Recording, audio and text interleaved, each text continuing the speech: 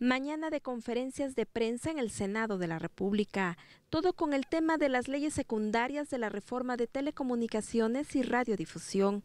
Y es que el tiempo apremia, en siete días termina el periodo ordinario de sesiones y se habían fijado como meta aprobarlas este viernes. Primero fue la del secretario de Comunicaciones y Transportes, Gerardo Ruiz Esparza, acompañado de senadores del PRI y del Partido Verde dijeron que están dispuestos a realizar cambios a la iniciativa que envió el presidente Enrique Peña Nieto. Aseguran que no avalarán la censura en Internet y el bloqueo de señales por temas de seguridad nacional o pública. Haremos todas las adecuaciones que sean necesarias para que no se desvirtúe en ningún momento este debate y que se pretenda decir que se quiere censurar o restringir el acceso a Internet. Esto es falso. Lo reitero, esto es falso. Se trata, la intención es cerrarle la puerta de la tecnología y las comunicaciones al crimen y a la ilegalidad, no a la sociedad, de ninguna manera a la sociedad de ninguna manera se coartará, ni es la intención de coartar la libertad de expresión de los mexicanos. Nunca ha existido esta intención. Cambios mínimos porque argumentan que por seguridad nacional la Secretaría de Gobernación sí debe regular los contenidos. No podríamos tolerar que una radio que no existe, una televisión, incitara a la violencia y no hubiera en una ley la posibilidad que una Secretaría de Estado, que aquí es específicamente la Secretaría de Gobernación, tenga esa facultad para contener contenidos violentos o que provoquen un atentado contra nuestro país. Y se mantienen firmes en las atribuciones que tendrá el IFT.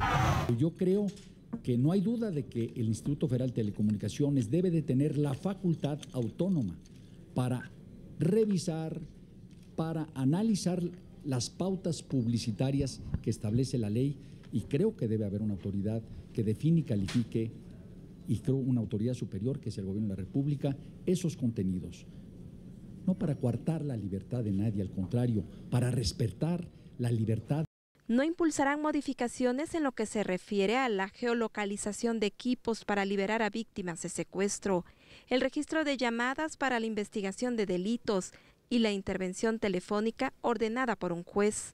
Ahí mismo el gobierno federal avaló el proceso legislativo y el proyecto de dictamen que presentó ayer el presidente de la Comisión de Comunicaciones y Transportes, Javier Lozano, que contiene 192 modificaciones a la iniciativa de Peña Nieto. Y apenas salía de la sala de conferencia el titular de la SCT y legisladores del PRI y el Verde, cuando ya entraban los perredistas reprochando dos cosas, la violación al proceso legislativo que cometió Javier Lozano, presidente de la Comisión de Comunicaciones, al realizar él solo el dictamen de las leyes secundarias Telecom, y por la presencia del secretario de Estado. ¿Qué papel le, dejan jugar a Javier Lozano? Ese, el de boicoteador, el de controlador, ahora vinieron a ayudarlo. El PRD insistió en que este jueves no habrá dictamen de las leyes secundarias en materia de telecomunicaciones, como anunció ayer Lozano, tras la reunión privada con los presidentes de las comisiones dictaminadoras, y en donde se rechazó la iniciativa perredista, la cual recogía observaciones de organizaciones no gubernamentales. Sí, exigirle a Peña Nieto que saque las manos de este tema. Este es un asunto que está en el Congreso y que no tiene por qué seguir aquí entorpeciendo con la presencia de funcionarios que por supuesto ya quedó debidamente demostrado que lo único que quieren hacer es congraciarse con los poderes fácticos de este país. El PRD dijo que esta vez no recurrirá a la toma de tribuna, pero sí al debate. Reservarán todo el documento del proyecto de dictamen. La tercera conferencia de prensa fue del coordinador de la bancada del PAN, Jorge Luis Preciado Rodríguez. Acudió solo y fue para anunciar que los panistas del Senado definirán hasta el viernes su ruta crítica. Aún no hacen público los temas en los que harán reservas. Nosotros tenemos una reunión el viernes donde se va a presentar un documento por parte de la Fundación Humanismo en la que va a recoger las inquietudes del senador Lozano, del senador Corral, de la iniciativa presidencial, del Comité Ejecutivo Nacional del PAN. Se va a generar un solo documento que va, es el que va a discutir el grupo parlamentario.